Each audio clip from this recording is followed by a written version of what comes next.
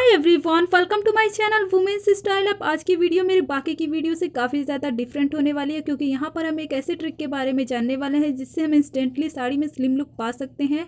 जी हाँ दोस्तों यूट्यूब पर काफ़ी टाइम से एक ट्रेंडिंग वीडियो चल रही है जिसमें यहाँ पर दिखाया गया है कि अगर हम इस स्पेक्टी का यूज़ करते हैं तो इंस्टेंटली हमें स्लिम लुक मिल जाता है।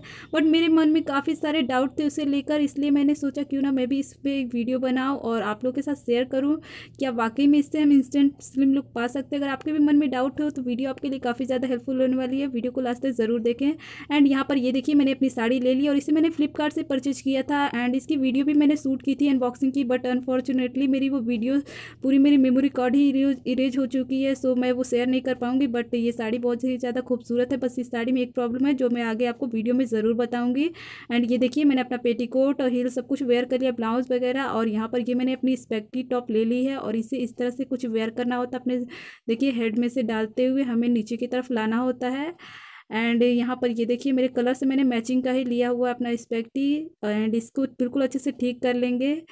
इस तरह से ठीक करते हुए एंड ये जो जितने भी अब हमारे वो साइड के कॉर्नर बच गए हैं, इन्हें हम इसे टक कर लेंगे। इस तरह से जो दो हमारे हैंड के स्लिप्स दिए होते हैं शोल्डर वाले, उसे हम इस तरह से टक कर लेंगे। तो यहाँ पर देखिए टक करते आप मुझे कमेंट करके ज़रूर बताना क्या आपको कोई फ़र्क नज़र आया। मैंने जब इसे टक किया तो मुझे बस एक डिफरेंट नज़र आया कि जो ऊपर की स्टिचिंग थी मेरी पेटीकोट की वगैरह की, वो बिल्कुल क्लीन हो गई। तो इस, ये एक अच्छा एक प्लस पॉइंट लगा मुझे। एंड थोड़ा स्लिम तो ज़रूर लग रहा था, क्योंकि हमारा शेप जो था वो बिल्कुल इस तरह से स्ट्रक्चर में आ गया था। एंड इसके बाद से देखिए मैंने अपनी साड़ी ले ली और ये देखिए कुछ इस तरह से हो गया है। अब मैं आपको दिखाती हूँ, ये देखिए, ये मेरी साड़ी है ना। इसे हम खोलेंगे और जैसा कि हम नॉर्मल साड़ी वेयर करते बिल्कुल वैसे ही हम साड़ी का एंड सिरा ले लेंगे। ये मेरी साड़ी का नॉन पल्लू साइड है और अभी मैंने इसे पिको नहीं किया। आप देखिए साइड में अभी इसकी साड़ी पूरी तरह से अभी न्यू पड़ी हुई थी। तो इस तरह से देखिए हम राइट साइड से अपनी टकिंग स्टार्ट करते हैं। एंड ये साड़ी, सिल्की साड़ी है काफ़ी ज़्यादा खूबसूरत है, बट इसमें एक प्रॉब्लम है कि इसकी जो बॉर्डर की स्टिचिंग की गई है, वो बिल्कुल रफली तरीके से की गई, जिससे आपको प्लेट्स बनाने में काफ़ी ज़्यादा प्रॉब्लम आएगी। आगे आप वीडियो में देख पाएँगे। तो आप देखिए, इस तरह से हमें टाइट फिटिंग टक करना होता है, क्योंकि अगर आप टाइट फिटिंग टक करते हो, तभी आपको और स्लिम लुक मिलता है। ये देखिए, इस तरह से मैंने टक कर लिया है। अब यहाँ पर मैं आपको एक निगेटिव पॉइंट दिखाती हूँ। ये देखिए, मेरी साड़ी थोड़ी सी ट्रांसपेरेंट थी तो यहाँ पर ये जो स्पेगटी का हमारा जो यहाँ पर, यहाँ तक ख़त्म हो गई थी, यहाँ पर बिल्कुल ये दिखाई दे रही थी। तो अगर आपकी साड़ी थोड़ी सी भी ट्रांसपेरेंट है तो बिल्कुल अंदर से दिखाई देने लगती है। सो ये सबसे फ़र्स्ट मैंने ये नोटिस किया इसमें अपनी स्पेक्टी के यूज़ से। एंड इसके बाद देखिए, हम जैसे नॉर्मल साड़ी वेयर करते बिल्कुल वैसे ही साड़ी का प्लीट्स बनाएँगे, पल्लू वाला पार्ट हमने ले लिया है। और यहाँ पर मैं रफली सा प्लीट्स बना रही हूँ इस तरह से। और इस तरह से प्लेट्स बना लेने के बाद हम इसे बैग से घुमाते हुए अपने लेफ़्ट वाले शोल्डर पे ले जाएँगे। और जितनी भी हमें लेंथ चाहिए होगी, अपने पल्लू को उतना मेज़र करने वाले हैं यहाँ पर। सो so, यहाँ पर मैं अपने पल्लू की लेंथ ये घुटने से थोड़ा सा नीचे रख रही हूँ एंड इसके बाद से बैक से देखिए बॉर्डर को ठीक करते हुए सामने की तरफ़ ले जाएँगे और राइट साइड की तरफ़ ले जाकर इतना फैब्रिक हमें छोड़ देना होता है एंड इसके बाद से ये जितनी भी साड़ी बच गई इनकी हम प्लेट्स बनाएँगे। तो ये देखिए स्टार्टिंग से थोड़ा सा फैब्रिक छोड़ देना होता है और इस थम का और अपने स्मॉल फिंगर का यूज़ करते हुए मैं इस तरह से प्लेट्स बना रही हूँ। आप जैसे भी कंफर्टेबल हो आपको ऑलरेडी अगर प्लेट्स बनानी आती है तो आप बना सकते हैं एंड इस तरह से देखिए मैं प्लेट्स को बना रही हूँ। मुझे सबसे ज़्यादा ईजी तरीका लगता है और इस तरह से प्लेट्स बनाने से आपकी प्लेट्स में हाफ़ ऑफ़ सेंटीमीटर का गैपिंग भी खुद ब खुद आ जाता है तो ये काफ़ी अच्छी बात होती है इस तरह से प्लेट्स बनाना।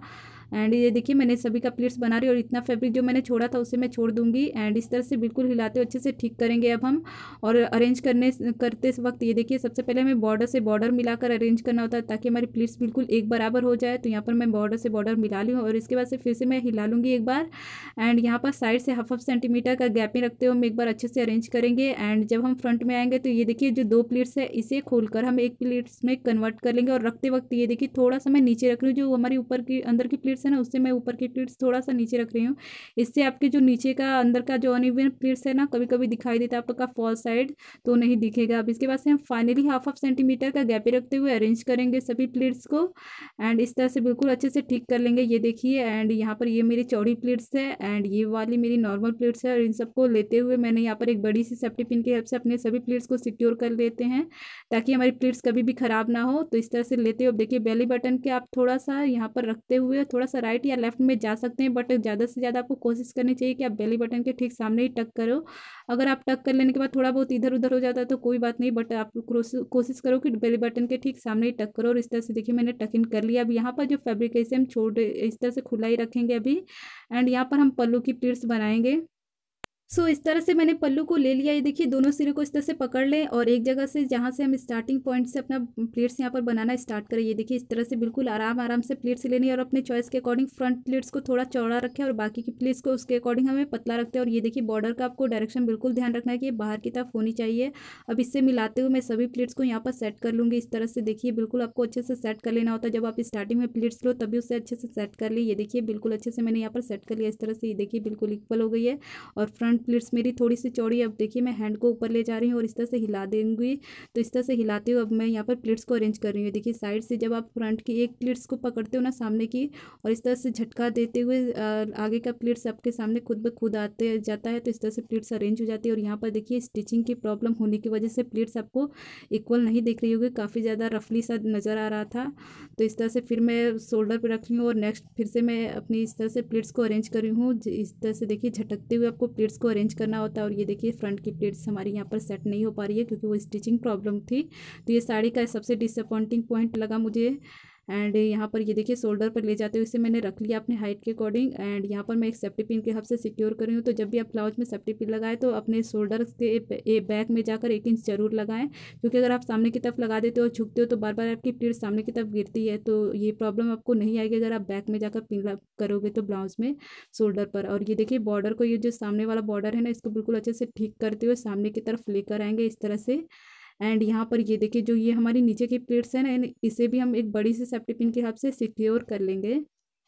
ऐसा करने से हमारी प्लेट्स जो है ना, बिल्कुल भी ख़राब नहीं होती है। आप सो उठो, दौड़ो, भागो, कुछ भी प्रॉब्लम नहीं आती है। जब तक आप नहीं खोलोगे, आपकी प्लेट्स बिल्कुल नहीं है इधर उधर होती है आपकी साड़ी। एंड इसके बाद देखिए ये वाला जो बॉर्डर है इसको बिल्कुल टाइट फिटिंग से लेकर आना है। और ये जो दूसरी तरफ़ हमने फैब्रिक को छोड़ रखा था यहाँ से हम अपने हैंड को ले जाएँगे। और इस साइड वाला जो ये छो, छोड़ा हुआ फैब्रिक है इसे हम पकड़ लेंगे दूसरे वाले हैंड से। और ये देखिए मैं राइट साइड की तरफ़ इसे खींचूँगी उस साइड की तरफ़।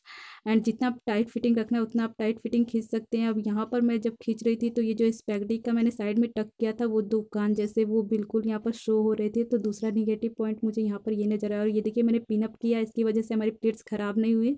तो जब भी आप इस ट्रिक का यूज़ करें तो सेफ्टी पिन ज़रूर लगा लें ताकि आपकी प्लेट्स इस तरह से ख़राब होने के चांस ना रहे और यहाँ पर देखेंगे कि स्पेक्टी का मेरे निशान दिख रहा था साइड से, वो भी बहुत ही मुझे अजीब लग रहा था। एंड इसके बाद से मैंने जो एक्स्ट्रा फैब्रिक था साड़ी का साइड में उसे हम टक कर लेंगे इस तरीके से।